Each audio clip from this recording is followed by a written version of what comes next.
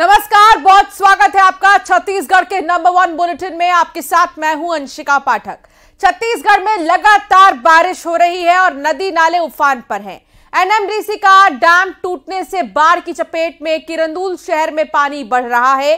प्रशासन लोगों से घर खाली करने के लिए लगातार कह रहा है और साथ ही सुरक्षित स्थानों पर जाने के लिए कह रहा है। कांकेर के कई गाँव टापू बन चुके हैं तो कोयली बेड़ा के मेंढकी नदी उफान पर है। ऐसे में ग्रामीण साप्ताहिक बाज़ार भी नहीं जा पा रहे। इधर बिलासपुर में बारिश का पानी घरों में घुस रहा है। गरियाबंद के मैनपुर कला में, नाला में बाढ़ आ गई है। इसके साथ ही बीजापुर भोपालपट्टनम ब्लॉक के कई इलाकों में बाढ़ के हालात बन चुके हैं। नेशनल हाईवे एक तारलागुड़ा और नेशनल हाईवे तिरसठ पर बने पुलों के ऊपर से पानी बह रहा है। कांकेर, दंतेवाड़ा, बलौदाबाजार, बीजापुर की तस्वीर आप देख रहे हैं, जहाँ हर तरफ़ पानी ही पानी है। तो कांकेर में भारी बारिश के चलते नदी नाले उफान पर है। कैसे कोड़ी नदी में कुछ ग्रामीण ट्रैक्टर से नदी पार कर रहे थे, लेकिन ट्रैक्टर बीच नदी में ही फंस गया। लोगों ने अपनी जान किसी तरह खतरे में डालकर तैर कर बाकी लोगों की जान बचाई। छत्तीस गाँव टापू में तब्दील हो चुके हैं, जिनका ब्लॉक मुख्यालय और जिला मुख्यालय से संपर्क टूट गया है। मौसम विभाग ने अभी दो दिनों तक भारी बारिश की चेतावनी जारी की है। भारी बारिश के चलते लोगों का जनजीवन अस्त व्यस्त हो चुका है। ये देखिए, ट्रैक्टर कैसे पानी में फंसा हुआ है। छत्तीस गाँव टापू बन चुके हैं। इतना ज़्यादा जल जमाव 24 घंटे से लगातार बारिश हो रही है और अभी भी ये सिलसिला थमा नहीं है। कांकेर शहर में बारिश का पानी घरों और दुकानों में घुस चुका है। घरों में घुटने तक पानी आ चुका है और गली मोहल्ले की सड़कें जलमग्न हो चुकी है। दुकानों में पानी भरने से लाखों का नुकसान हो रहा है। जल भराव से लोगों में गुस्सा है और दुकानदारों ने चक्का जाम कर दिया है। तो दो तस्वीरें आपकी टेलीविज़न स्क्रीन पर कांकेर में आप देखिए, दुकान से लेकर घर तक का क्या हाल है। यहाँ पर एक तरफ़ जहाँ घर से पानी निकाला जा रहा है तो दूसरी तरफ़ दुकानदारों ने चक्का जाम कर दिया है कि कोई इंतज़ाम क्यों नहीं है। जब हर साल बारिश का यही मंजर होता है तो क्यों नहीं पहले से ही प्रशासन की तरफ़ से इंतज़ाम किए जाते हैं? बारिश से जनजीवन बहुत ज़्यादा प्रभावित हुआ है। दुकान में पानी भरने की वजह से बहुत ज़्यादा नुकसान जो है यहाँ पर हुआ।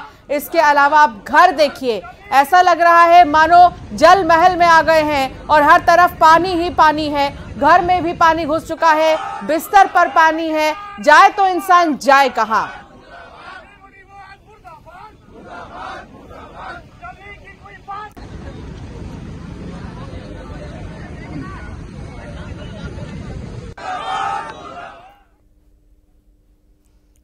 लगातार हो रही बारिश से किरंदुल के निचले बस्तियों में पानी भर चुका है और लगातार हो रही बारिश से जनजीवन अस्त व्यस्त हो गया है। राहत बचाव का काम जारी है। बता दें, पिछले दिनों एनएमडीसी का डैम फटने से भारी तबाही हुई। बारिश से लोग बहुत परेशान हो गए। घरों में पानी भरा और कई महिलाओं को रेस्क्यू करके बचाया गया। दंतेवाड़ा में भी बर्बादी का मंजर नदी तो नदी लेकिन नाले भी उफान पर। महिलाओं का किसी तरह रेस्क्यू किया गया क्योंकि उफान पर यहाँ पर नदियाँ नज़र आई हैं जिसकी वजह से जो आ, मैदानी इलाके हैं यहाँ पर बहुत ज़्यादा जलस्तर बढ़ चुका है और किरंदुल की निचली बस्ती में भी पानी घुस गया।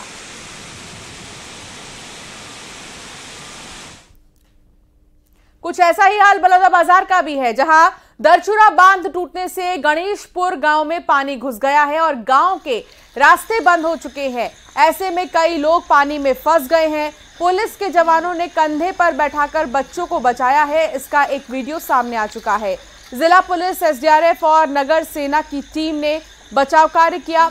सिमगा विकासखंड के गणेशपुर गाँव का ये वीडियो बताया जा रहा है।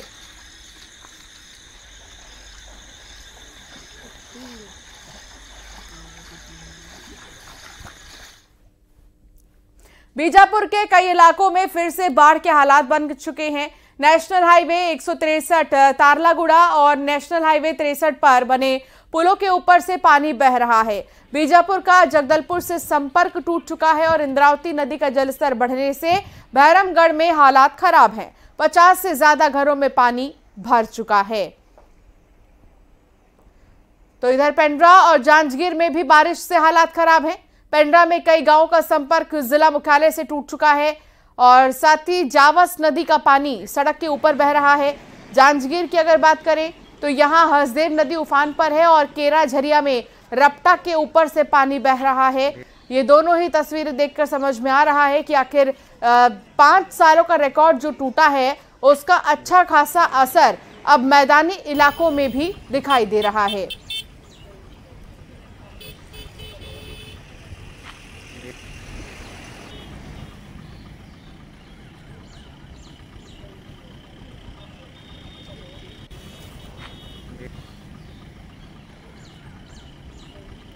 खेम नारायण, हमारे संवाददाता साथ जुड़ गए हैं और हमारे साथ हमारे एक और संवाददाता भी जुड़ गए हैं। दिनेश हमारे साथ जुड़े हैं। सबसे पहले खेम नारायण, बारिश का सिलसिला क्योंकि बहुत ज़्यादा यहाँ पर दिखाई दे रहा है और ऐसे ही नहीं, पिछले पाँच सोलह का रिकॉर्ड टूटा है। अच्छा खासा नज़र अच्छा असर नज़र आ रहा है।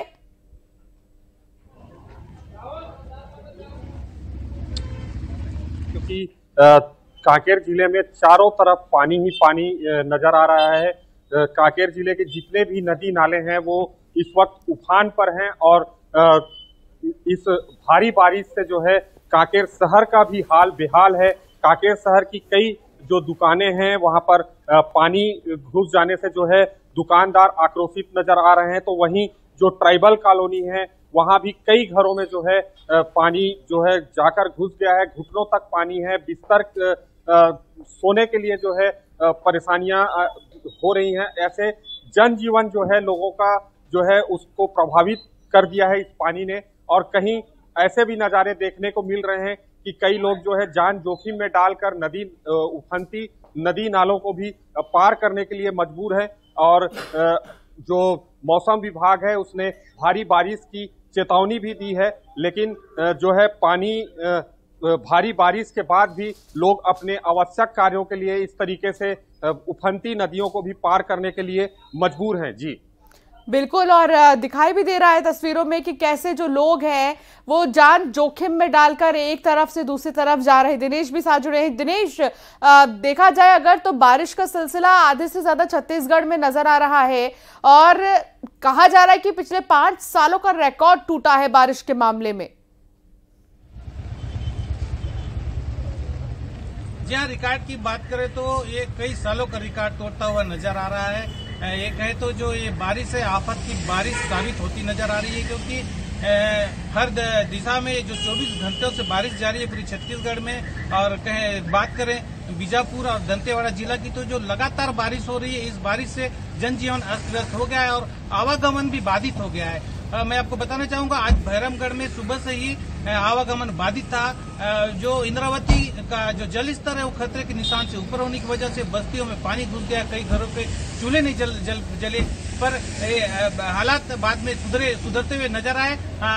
रात की सांस ली भैरमगढ़ वासियों ने और जल थोड़ा कम हुआ जिसकी वजह से मार्ग भी बहाल हुआ। हालाँकि अभी भी स्थिति से प्रभावित लोगों ने बहुत ही परेशानियों का सामना किया है और आगे भी करेंगे। और वहीं बेलाडीला की बात कर, की जाए तो कुछ दिन पूर्व जो इलेवन सी एनएमडीसी का जो डैम टूटा था उस डैम से जो कहर बरपा था आज भी वो कहर रह रह के बरप रहा है और लोगों के घरों में पानी घुस गया। एक तीन और सात जो वार्ड है इन वार्डो में हर घर में निचले बस्तियों में पानी पहुँच चुका है क्योंकि जो पानी बड़े ही बिल्कुल और ये दिनेश वाकई में आप जैसा कि बता रहे हैं कि निचले बस्तियों में जो पानी घुस रहा है वो लोगों की जान पर भी बात डाल रहा है कि लोग आखिर जाएँ तो जाए कहाँ और अगर कहीं नहीं जाएँगे तो उनके लिए बहुत बड़ी मुसीबत है। बहुत शुक्रिया आप दोनों का ही जानकारी साझा करने के लिए।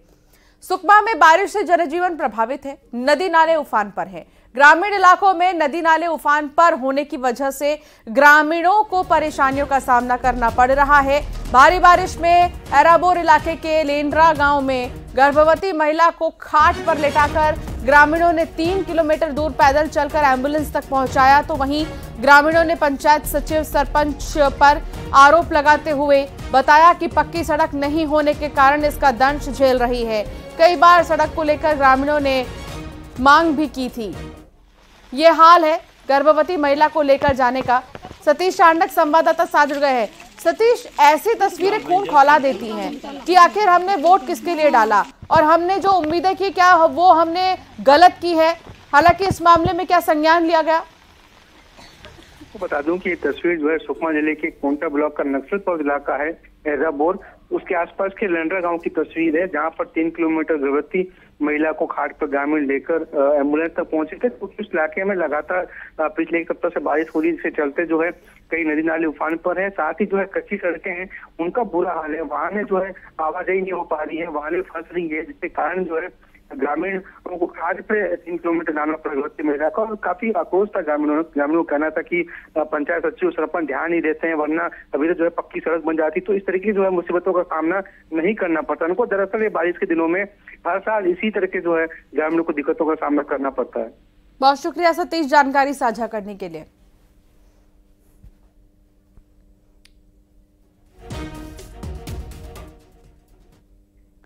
बस्तर में लगातार बारिश से झरनों की खूबसूरती देखते ही बनती है। चित्रकोट जलप्रपात के नज़दीक मेदरी घूमर जलप्रपात की सुंदरता देखते ही बन रही है। पहाड़ों के बीच इस झरने को देखने के लिए पर्यटक पहुँचते हैं। काफ़ी ऊंचाई से गिरता जलप्रपात पर्यटकों को लुभा रहा है। आज तक आपने ऐसा वाटरफॉल सिर्फ़ सीनरी में ही देखा होगा। लेकिन ये हकीकत है कि जगदलपुर का ये जो वाटरफॉल है, अब अपनी खूबसूरती के लिए चर्चा में आ चुका है। लगातार बारिश की वजह से झरनों की खूबसूरती अब देखते ही बन रही है तो वहीं ये चित्रकोट का जलप्रपात है। चित्रकोट का ये वाटरफॉल है, जिसे देखने के लिए लोग पहुँच रहे हैं और पर्यटकों के मन खिल रहे हैं।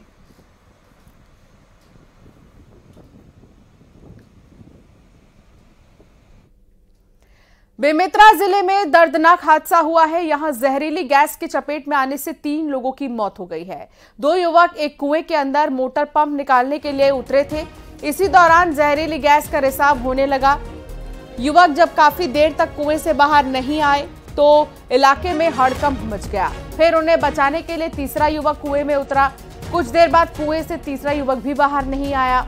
इसके बाद आसपास के लोग फ़ौरन मौके पर पहुँचने लगे। लोगों ने देखा कि तीनों युवकों की जहरीली गैस की चपेट में आने से मौत हो गई है। ग्रामीणों ने घटना की जानकारी फिर पुलिस को दी।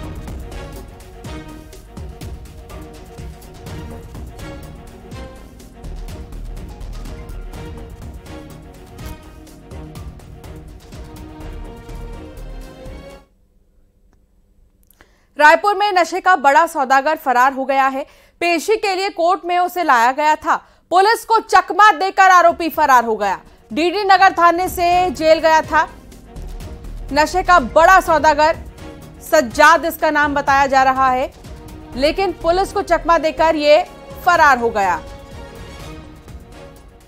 पेशी के लिए कोर्ट में लाया गया था इसे। हालाँकि पुलिस को इसने चकमा दिया और मौके से फरार हो गया। युगल तिवारी, संवाददाता साथ जुड़ गए। युगल, कोई सुराग मिल पाया क्या आरोपी का? तो युगल से संपर्क नहीं हो पाया, दोबारा साधने की कोशिश करेंगे। नशे का ये बड़ा सौदागर है, जिसका नाम सज्जाद बताया जा रहा है। इसे पुलिस ने गिरफ़्तार भी किया था, लेकिन कोर्ट में पेश करने के लिए जब पहुँची पुलिस तो यहाँ से वो चकमा देकर फरार हो गया।